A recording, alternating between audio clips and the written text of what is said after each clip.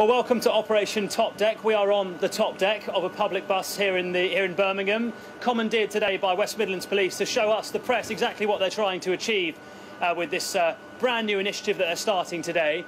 And we're just making our way up to the traffic lights, and this is the sort of area that the police are looking for.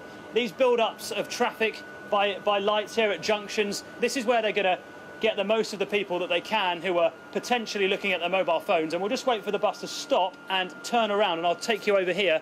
We'll go and see uh, one of the PCs who's working on this, PC Mark Hodson. So you're looking here at uh, people who are possibly on their phones. Tell us what you're looking for exactly. Well, there's one down there, as we can see, um, in the Range Rover down there, texting away as we speak. Um, obviously committing the mobile phone offence, as you can see, blatantly on the phone, interacting.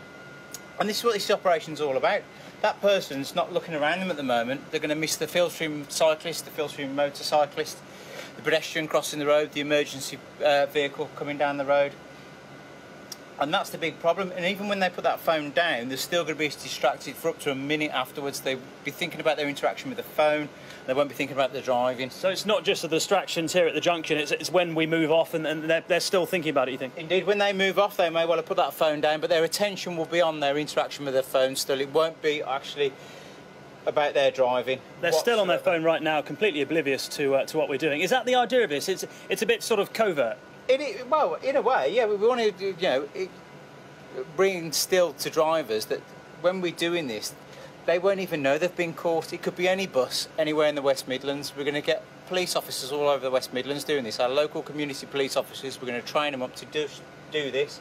We've all got body cams, we've all got mobile devices we record on.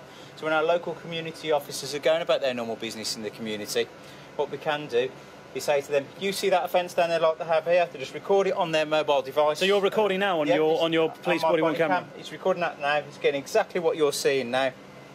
All we'll do, and we'll- you'll have to get their plate, will you? yeah, we've got the registration plate down there, and all we'll do is send that the person a letter in the post saying you've been caught on your mobile phone.